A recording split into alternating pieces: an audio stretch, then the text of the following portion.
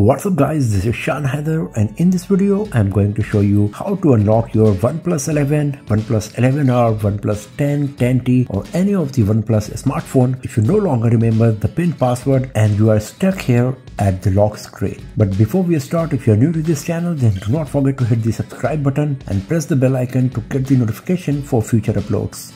So to remove any kind of security like the fingerprint data, face ID, PIN, password, you have to perform this action from the device setting. But since you are logged out of the device, you are stuck at the lock screen, you cannot go to the setting to perform this. Another option is to reset the device and wipe all of the security settings. But once again for that you will have to go to the settings and perform this activity. So in this video I'm going to show you how to perform a hard reset or factory reset right from this lock screen if you no longer remember the pin password of your OnePlus 11 or any of the OnePlus smartphone. But keep one thing in your mind that whatever content you got on your device will be deleted, you will start fresh and if you were using your Google account on your device then it might ask you to enter your Google account credential one more time. So now the very first thing you have to do when you are at your lock screen is switch off your device.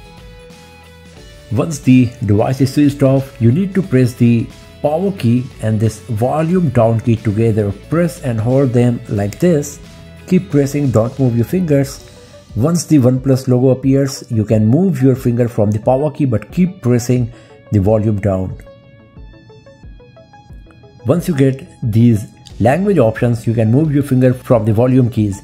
So to navigate between these options, you will have to use the volume keys volume up to up volume down to down.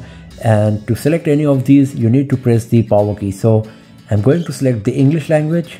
And after that press the power key once. On the next screen you can see that we are inside the recovery menu of our OnePlus 11 the very first option is format data. So press the power key once to select it. Then on the next screen it will ask you to enter a four digit number. It keeps changing every time so for your device it will be different. On the next screen it will show you that all user data will be reset. Just tap on this format option here and wiping of the data is started and completed as well. The by default reboot option was selected and now the device is restarting. So let's wait a bit now as you can see that we are starting totally fresh with our OnePlus 11 here and we will have to go through the setup process.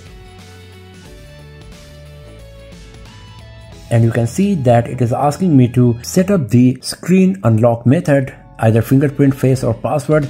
That means the previous one is gone but still let's finish our whole setup process and then we will see whether we really got the access back to our OnePlus 11 here or not and here we go. So as you can see it is no longer asking me to enter my lock screen pin.